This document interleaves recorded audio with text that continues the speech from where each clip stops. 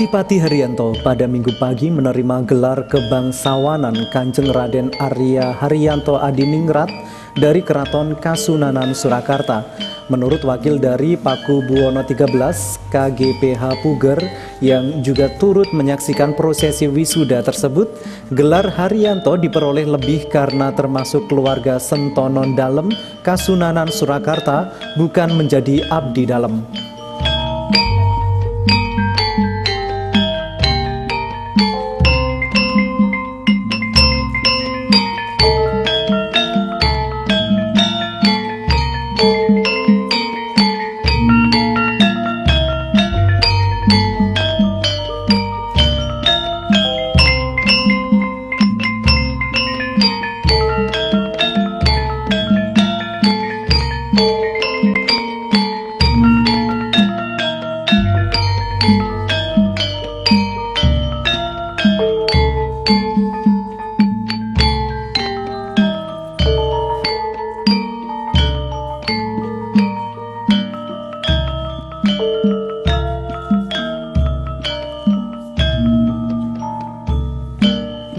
Tradisi Keraton Kasunanan Surakarta, prosesi wisuda pemberian gelar untuk kerabat keraton dengan abdi dalam memang selalu digelar terpisah.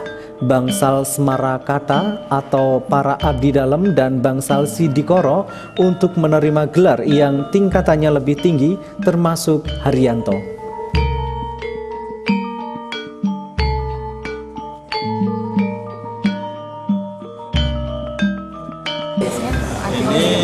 Dilakukan setahun sekali.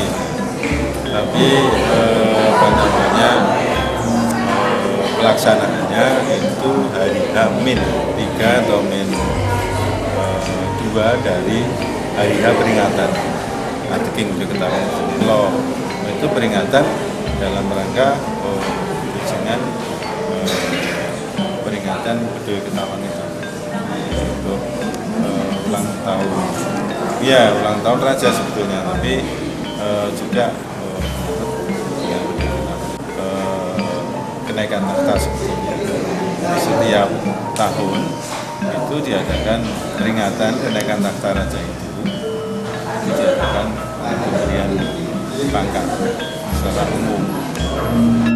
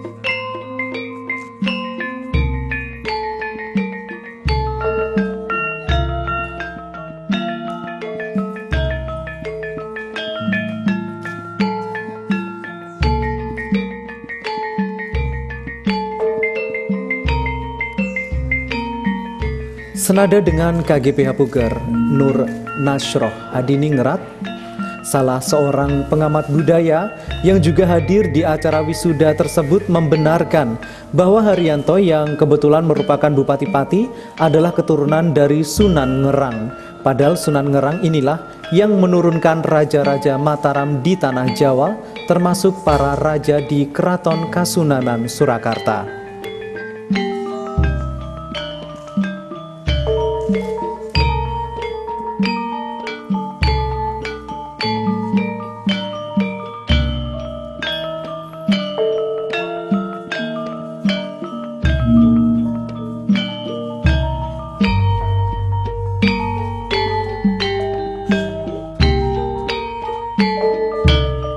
Buyut dalam Sri Susunan Pakubuwono IV sekaligus juga buyut dalam Sri Sultan Hamengkubuwono II yang bergelar Kanjeng Pangeran Panji ini menegaskan bahwa pemberian gelar ini selain karena faktor keturunan juga karena kecintaan dan kesungguhan Haryanto dalam melestarikan dan merawat makam-makam leluhur Raja-Raja Mataram yang ada di Kabupaten Pati.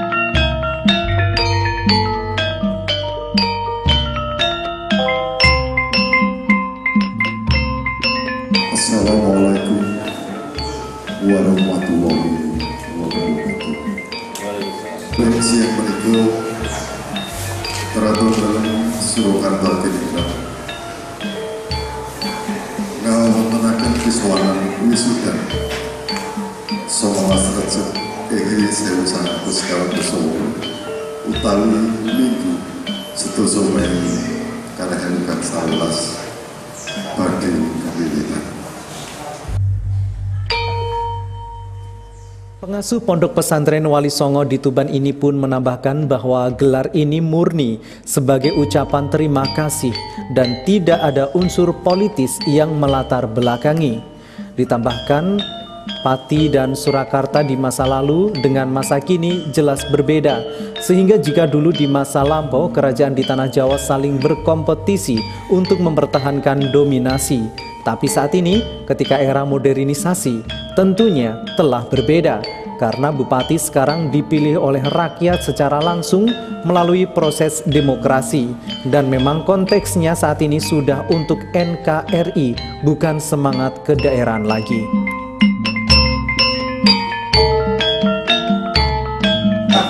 Yang melahirkan Mataram keraton dan beliaunya perhatian sekali. Pak Bupati ini perhatian sekali ngopeni makamnya leluhur-leluhur itu. Bahkan dianggarkan untuk membangun makamnya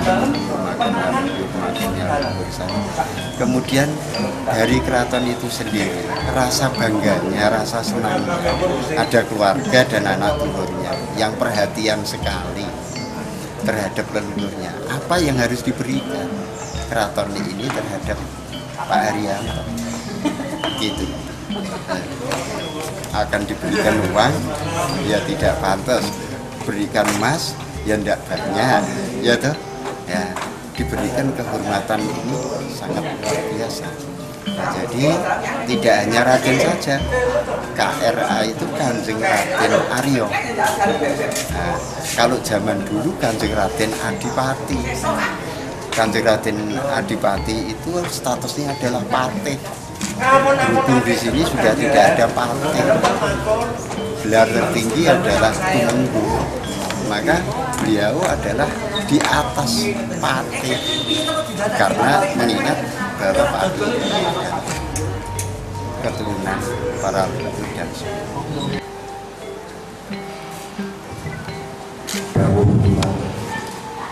Dr. Kanjeng Pangeran Edi Wilobu Esa Pekeniro Gawin Timbaladan Awin Kepareng Kacotan kerja aku apa tegang gandaran datus pangeran jepon kandi sesebuta doktor kanjeng pangeran radio wiro bumi SIU anda tersuruh karekso lagi untuk korban tegang tidak lagi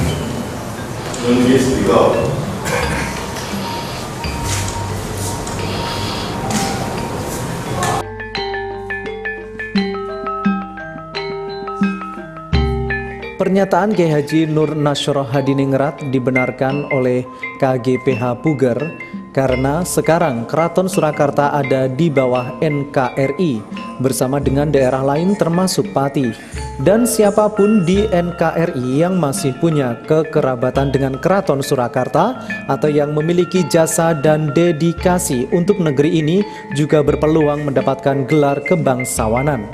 Sementara itu Bupati Pati ditemui usai acara menyatakan rasa terima kasihnya pada pihak keraton atas penghargaan yang diberikan.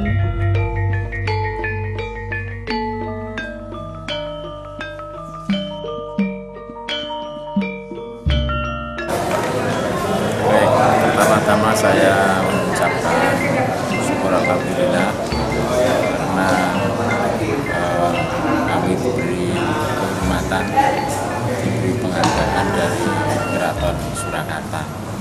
Yang mestinya memang kami sudah empat atau tiga tahun yang lalu saya sudah sering didapat undangan. Namun kebetulan bersamaan dengan agenda saya tidak saya bisa saya tinggalkan akhirnya baru kali ini saya memenuhi undangan dari eh, Keraton Surakarta. Kalau menurut saya ini kan gelar kerajaan. Mungkin ada eh, kita diakui keluarga besar Sentono Dalam tapi sebagaimana tugas bupati saya juga tetap memberikan pelayanan kepada masyarakat yang terbaik. Dan kalau perlu karena kita ini menjadi keluarga Sentono Dalam ya paling tidak harus bisa memaksimalkan apa yang menjadi daun-daun dari kerajaan maupun juga apa yang menjadi beban dan tugas saya selalu kepala daerah sehingga tak ada bedanya saya mengambil uh, dapat tambahan gelar ini pengakuan dari kerajaan Surakarta. Tapi selaku kepala daerah saya tetap uh, berupaya untuk mewujudkan apa yang menjadi visi dan misi saya yang sudah tertuang di dalam RPJMD kurun waktu lima tahun.